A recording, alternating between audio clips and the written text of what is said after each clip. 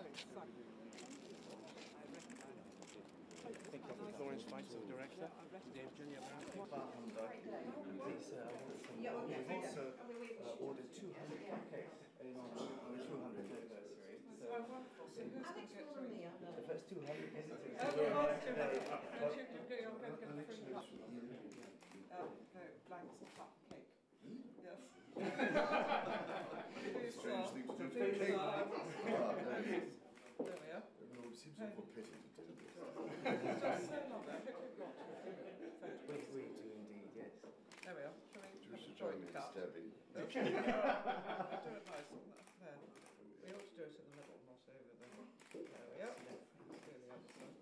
What do we do? What we- Shall we see what's on? This is what we're trying to see. There we are. There we are. What do you think it is? Was it Right, you you that dig can't it. bear my We'd secret? like to strike it.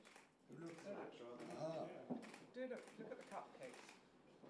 They've got two cupcakes. For about two years, trying to fit the you into the cake. the, the hub of the Beautifully done. um, was in Painted that. Uh, we don't know who, uh, who uh, paint, uh, painted it. Um, it was owned by Angela Burdett Coutts, who was a very close Oh, friend. exactly. And you know, but, uh, Yes, this, yes. uh, this dust over there, it always makes him look like a uh, dust and figure in uh, Devon Patel, near America. Um, then he moved on to Drugs for another 10 years, and after. Back Hello again. again. Yes, what am I doing up here? How- This is Mr. Andrew Hagen, the writer and the ambassador for, for UNICEF. Hello. And this is He's pasted, he's pasted these extra words on, and then he also used this ribbon to um, to hold those pages together so that he could then turn a whole bunch of them at one time.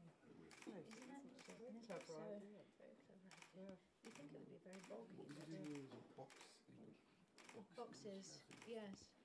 some of Rich Dickens's texts. So you, you're welcome to come uh, borrow some of our copies if you'd like to read from, from the original. If you can decipher his handwriting. Exactly. Which I think is actually incredibly difficult. And who's been doing all Uh, Did he, did he do all this? The embroidery. Uh, th- this isn't original. This was made as a sort of set piece for the for the museum to show the kind of um, activity that the, the Catherine in particular. there anything really to see it on his Donkey, specs, yes, so- that's right. You got ten. You I can pretend. So this was I'll all- pretend I can see. Yes, On earth, well, I suppose you could read this over society. That's print. Yes. Like Yes, class, that's very, very good eyesight. Look, look, look He, at actually, by the by the end of his reading career, he knew how how to to. look Uh, well, he used the, the plays that they were using on stage, but they almost were like like props. He used to slam them down on the table. Um, so they they've been well. His well observation. This is extra. to He this. did that. Were you the youngest, Miss Havisham? Well, apparently in